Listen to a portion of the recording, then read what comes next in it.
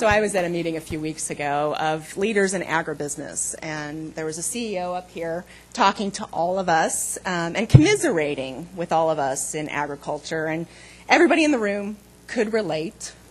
Uh, he said, and I'm going to quote a few things because I think this is going to resonate in the room. Uh, My company is in the business of feeding a growing world. In an instant, the media can turn everything upside down. If it bleeds, it leads. He used that kind of familiar saying. Science doesn't matter anymore, he said. They're just going to believe what they believe.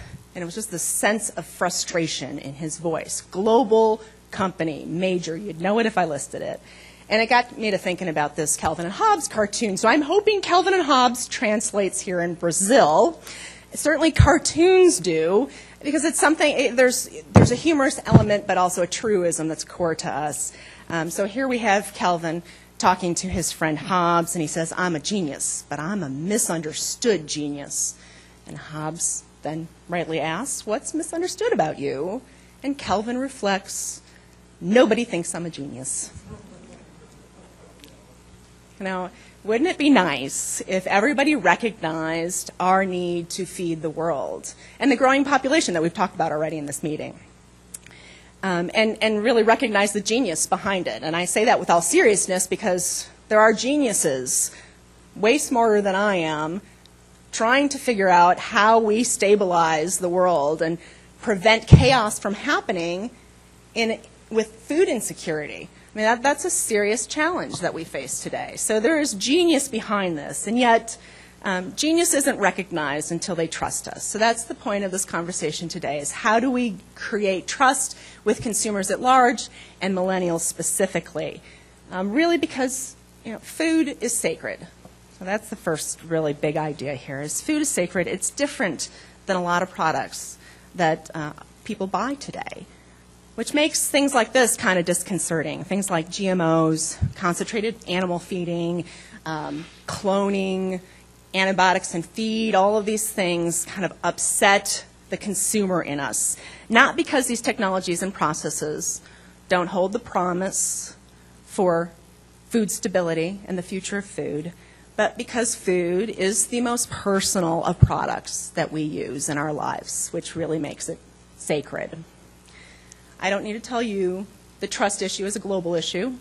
Um, fewer than half of consumers in the UK trust the food industry to provide safe food. 70% of Chinese consumers are concerned about their food supply. Um, and in 2011, there were more than 2,300 product recalls in the U.S., according to the U.S. Food and Drug Administration, the U.S. Department of Agriculture, and the U.S. Consumer Product and Safety Commission. So this is all Mintel collected data. Um, so the first thing I'd say is that this mistrust isn't misplaced. It's a reasonable reaction to this product that we sell, food, that's sacred, that we put in our bodies and feed our families. And the first thing when we communicate is coming from a place of this is a reasonable expectation that the trust in our industry is um, teetering, maybe is the word for it. Because consumers are mostly concerned about their long term health. And this is a fundamental challenge in communications because we can't guarantee them in the future, this long distant future, their health. Um, and anything deemed unnaturally introduced into the food supply initially, and initially is an intentional word, initially creates distrust, creates a sense of threat. Um, and science and logic doesn't help. So that CEO is right. Science and logic at the face value doesn't help. As a crisis counselor at Ketchum always tells our clients, the worst thing you can say to me during a crisis is, a, and if I'm concerned about something, is, you know, don't worry, it's safe, go back to doing what you're doing. Not reassuring. And of course, here's the biggest irony, right? Consumers want natural, and we have been an industry that's been very responsive to consumers' desires and wishes, and yet this sense that they have in their head of natural is really at odds with the societal, societal demand that's on our industry to produce food for the world and for a growing and increasing uh, population with more disposable income to buy protein and want protein. Um, so uh, this is this is the challenge. Protect me from what I want. I'm sure you all saw this, but if not, definitely check out Carnivore's Dilemma in the National Geographic. How many folks have seen this story? Oh gosh, check it out. So the National Geographic, um, a, a stateside magazine, is doing an eight-month series on a variety of foodstuffs and doing a really nice job covering the science of food. So it's a, it's a great case study, I think, throughout the eight months of communications in food. This story in particular is really well done, and the reporter, I think, sets up the di- dilemma very clearly. Um, he says, on one side, meat is murder. For public health and the, the health of the planet, we should be producing less. And then he says, on the other side, there are those that say meat is delicious and it's nutritious, and more people are going to want it in the world because they have a right to want it, and we need to produce more. So this debate is happening right now, and he acknowledges it in the story, and he concludes, here's the inconvenient truth.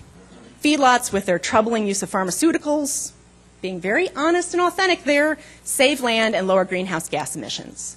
So he's presenting that tension already that exists and, and really talking about it openly, candidly. Where do we start? Um, this word transparency is completely overused in the food industry. I swear if I hear it one more time, I'm going to go out of my mind. I'm seeing some head nodding. Um, but it is our business reality because shift has happened. Um, a power shift of really millions of individuals um, who now have information at their fingertips and a lot of information at their fingertips, and they're actively sharing, they're coalescing, they're cajoling, they're changing the marketplace as we sit here in this room. I work for a firm, Ketchum, who has done um, a lot of research in this space to understand what's creating this shift.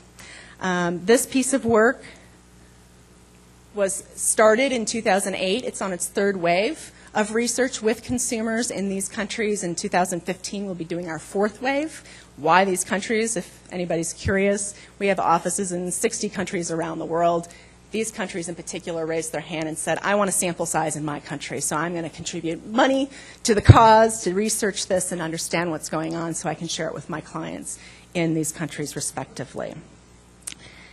This research was the first body of work that discovered um, who's kind of creating this tension in the marketplace and, and identified this new segment within the food involved consumer set, the food involved consumer being the one that all marketers, all our customers are targeting. They're the food purchaser. And we labeled this consumer the food evangelist. And I'm going to tell you a little bit about these folks. Um, they don't look much different than the food involved consumer. Um, they're a little bit younger, but half of them are millennials. They're a little more female than a food involved consumer. Their parents just like the food involved consumer, and they have a little higher income than the food involved consumer. Um, so if you're targeting somebody demographically, you're not going to find them in the crowd per se by numbers, by kind of demographic markers of age or income. They don't look that much different than food involved. Um, and yet, while they're only half of the food involved consumer, they behave very differently, and it's why we think they're very influential and a driving force in this discussion about food today. Their behavior is to self reported is to push out opinions about food four or more times a week. So the food involved consumer is absorbing information, you know, primary food shopper, making decisions for themselves, their family, taking in all information, and pretty well informed about food. That, that is my contention. The more I talk to consumers, the more I find, and, and I'm surprised to find, honestly, that they have pretty rich understanding of the food supply. What makes these food evangelists remarkably different is that they're not just making personal decisions for themselves, they want to make decisions for everybody else. So they are pushing their opinions on everybody else. And this is the crowd that's buying more fresh, less, less packaged goods. The trend, the shrink in the frozen food case right now, struggling in retail, is because of these folks. They don't want processed foods, and they don't want others to buy processed foods. So they're expressing that angst. They're worried about food processing overall, and they think others should be too. So they're sharing those opinions. You see in research all the time, one of the most trusted sources of information about food is friends and family. It's kind of that top bar all the time. And our contention, our hypothesis is it's not any friends and family, not just any old friend and family that we turn to for information. It is the food evangelists in our neighborhood, in our family set that we all turn to for information. It's the people who seem a little bit more read, a little bit more willing to share opinions, and we listen to them thoughtfully and evaluate our decisions against what they're saying. So that makes them highly influential in this discussion about food today. Because half of them are millennials, it's worth taking a look at some millennial data. And this is some work that the U.S. Beef Checkoff did. Kind of an eye chart I get. Um, but what's important here are these red arrows the millennials in specific are expressing interests and higher concerns than previous generations about animal welfare, how animals are raised, how they're housed, um, beef farming overall and its impact on the environment, looking different than consumers of yesteryear. So we used to think consumers didn't really care about this topic as much as they did about nutrition and taste. This topic is starting to pick up steam, particularly in the new consumer. So the question is, how do you win these folks, these food evangelists that are persuasive in the marketplace? Um, and, and that's the next part of this conversation I'd like to have with you, specifically about how to communicate trust. Um, it begins with focusing on their truth. I know that we're just explaining, for the most part, when we go out and kind of provide voice to our story. We're explaining what we want people to understand about our product, but to them, this sounds very defensive. The explanations sound defensive. So the reality is we have to start with their truth. Well researched fertile ground here for effective communications is the intersection between our truth and their truth. Defending past actions, talking about what we've done, defending standard practices, not working with this community. Uh, we have to evolve our communications, and it's very consistent with what we're hearing at this meeting, to continuous improvement. How we've improved what we do, how we're improving what we're doing. So it does mean being a little bit more vulnerable. It does mean expressing, here's how we do it today, and here's where we're going in the future. Expressing that future mindset is common ground. Charlie talks about shared values a lot. The shared value of continuous improvement is very real. This work uh, was done by the U.S. Farmers and Ranchers Alliance um, and provides kind of five tenets for effective communications in this, this environment of mistrust and specifically with millennials. Um, convincing our audience that their opinions are wrong just doesn't work. Explaining our point of view passionately and, and with all the confidence in the world doesn't work either. Starting at this place of improvement is, is really a powerful idea. Um, second tenet, being transparent. That overused word makes me crazy, so I'm going to talk a little bit about what I think transparency means for food animal production. And here's what I think it means. And I think it means different things for different industries and even different sectors of food. For food animal production, for beef specifically, it first means access. If I go looking for you, because I do want to hear from you who make process beef, sell beef, raise beef, whatever sector of this industry you belong to. I do want to hear from you. Consumers do want to connect with you. If I can't find you, I assume automatically there's something wrong. Something's gone bad. You're hiding something. The assumption is always to the negative. So being accessible before somebody goes looking for you is a critical tenet of transparency. Authenticity. What what our, my cowboy friends would say is, you know, be real. Just be real. Say it like it is. Um, offer a point of view that is both um, accurate but real, real language, authentic language. Okay. And then accountability, and I think this is particularly important in raising animals. I've sat in lots of dark rooms listening to consumers, both on the pork side and the beef side, talk about lots of practices in this industry. And at a moment of discovery, they, they step back and they say, I'm assuming that you know this is right, and you know it somehow, and I'm never going to be an expert. Don't expect me to be, don't want to be. I can't look over your shoulder 24 7. So I'm going to expect you to be accountable to do what's right and to tell me it. Um, and, and so consumers aren't expecting to know everything that you do and don't really want to know everything you do. They want to know that you're accountable. And that means also telling a story about how you're accountable. Third, um, this concept of precision. You know, we talk a lot about judicious use because that's the word that rolls off our tongue a lot. It's not particularly effective with um, consumers. Judicious is just a funky word that can mean a lot of different things.